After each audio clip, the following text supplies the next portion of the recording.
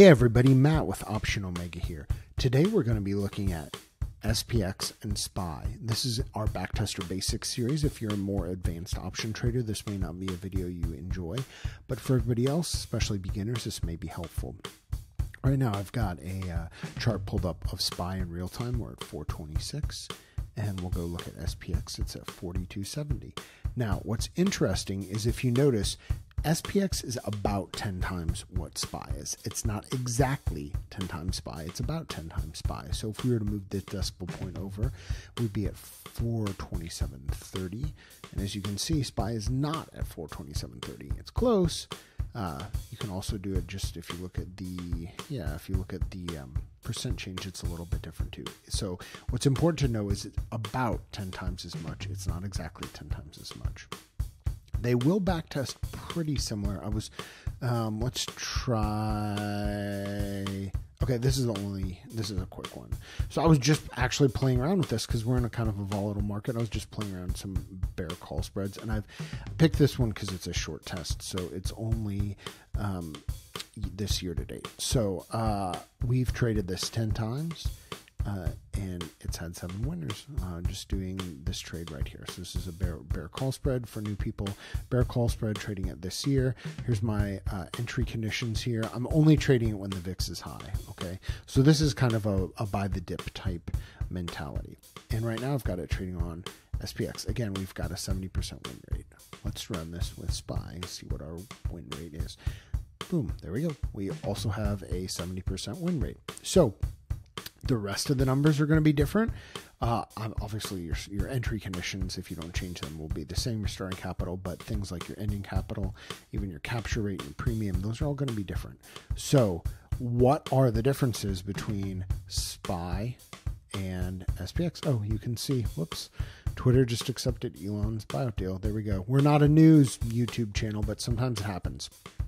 So SPY is an ETF. These are both based on the S&P 500. Okay, so this is the actual index, um, the S&P 500 index, and uh, this is a, people will call it the spider.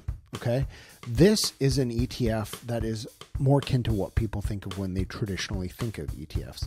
It's called the spider. It's run by State Street. They're one of the the big boys, and this they're both uh, proxies for the market, right? They both represent the S and P 500. And when people say the market, this is kind of what you know they're referencing a lot of times the S and P 500. So, why would you run options on SPY versus SPX? What's the difference?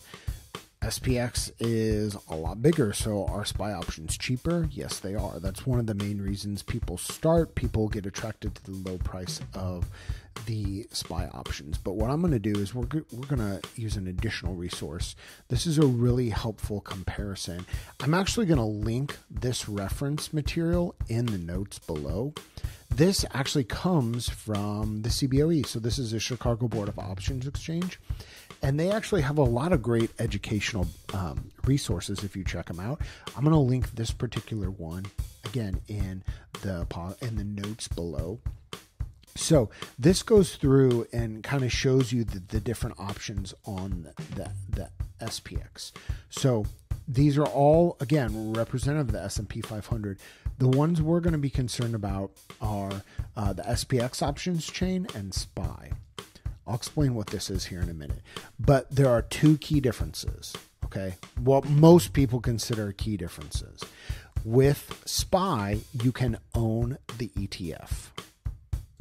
So, if you want to buy the market, there's a lot of people who do investing retirement strategies of buying the market. A lot of people buy SPY. Okay, you can do that. You cannot do that with SPX. That's one of the main differences. I would say one of the other main differences that a lot of people are focused on, there are several, but one of the other main differences is the tax benefits. There are some different tax qualifications with SPX that benefit most people.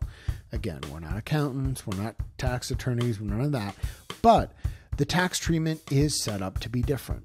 So a lot of people gravitate towards SPX. What is common between both SPX and SPY is that they both have tremendous liquidity. If you look at a uh, a chart, a daily chart of options volume by ticker, SPY and SPX are usually both at the top. Let me talk about XSP for a second. SXP is a mini SPX option. And you might think, well, isn't that what SPY is? No, that's not what SPY is. We just kind of went through the SPY shares you can own. XSP, like SPX, does not have does not have the ability to own shares. They are cash settled. So this is something else that people like is at the end of the day, if you have a trade on, your account will be either debited or credited depending on how your trade goes. That's a European style of where the market ends up. That is with both XSP and SPX. Now, one thing about XSP, it's a newer product. There is not a lot of volume. So SPY and SPX both have a tremendous amount of liquidity. XSP does not have it. So you can go through and read uh, some of the other things, uh, some of the other differences.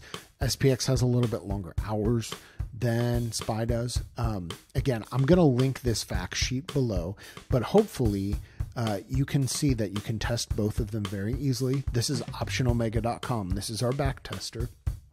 So you can do annual or monthly plans if you just want to try it out. Uh, also, if you like and subscribe the video, that would help. Uh, thank you for watching. Have a great day, and we'll catch you on the next one.